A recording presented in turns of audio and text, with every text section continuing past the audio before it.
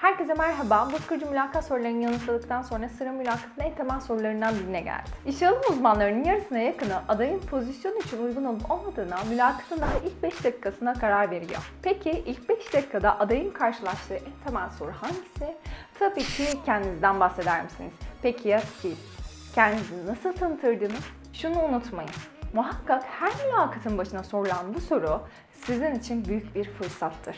Vereceğiniz etkili bir cevap ile daha en başta mülakatçının üzerinde pozitif bir etki uyandırırken aynı zamanda mülakatçının sonradan soracağı soruların odağını siz belirlemiş olursunuz. Peki cevabımızı nasıl vermeliyiz? Böylesine kritik olan bu sorunun cevabı için basit ama çok etkili bir formülümüz var. Formüle geçmeden önce dikkat edilmesi gereken kuralları anlamamız gerek. Dikkat etmemiz gereken 3 ana kuralımız var.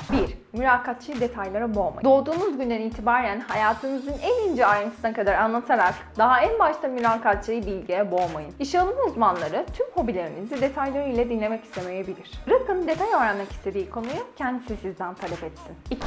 CV'nizi tekrar etmeyin. İşe alım uzmanları zaten CV'nizi inceleyerek sizleri mülakata davet ediyor. CV'nizi birebir tekrar ederek boş yere zaman harcamayın ve etkili bir cevap verme fırsatını kaçırmayın. 3. Soruya soruyla cevap vermeyin. Bazı adaylar bu soru sorulduğunda çocukluğumdan mı başlayayım, okul hayatımdan mı başlayayım diyerek soruya soruyla karşılık verebiliyor. Bu soruya yeteri kadar hazırlanmış bir aday soru sormadan cevabını etkili bir şekilde verecektir. Aksi takdirde daha en başta nereye odaklanması gerektiğini bilmeyen zayıf potansiyelli bir aday izlenimi yaratmış olursunuz. Şimdi geldik cevabın oldukça basit formülüne. Bugün, geçmiş ve gelecek. Yani kendinizden bahsederken cevabı 3 zaman dilimine bölerek veriyorsunuz. Bugün, şu an mevcutta yapmak olduğunuz iş nedir? Yani şu an neredesiniz? Neyle uğraşıyorsunuz?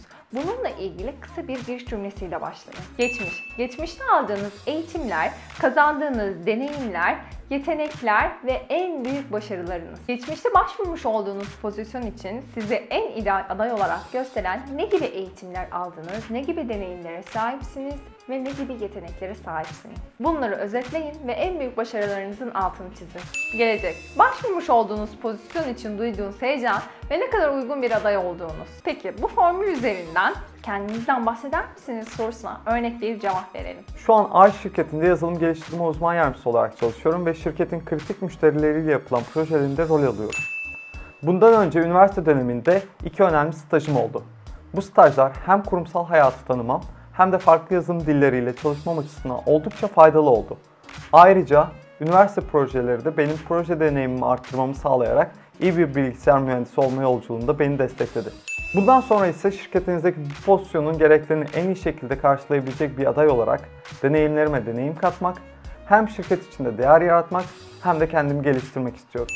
Bu örnekteki gibi bugün, geçmiş ve gelecekten bahsederek cevabınızı kolayca hazırlayabilirsiniz. En iyi aday sizsiniz. Pozisyonla ayrılan özelliklere en çok uyan aday da yine sizsiniz. Kanalımıza abone olmayı unutmayın ve hoşçakalın.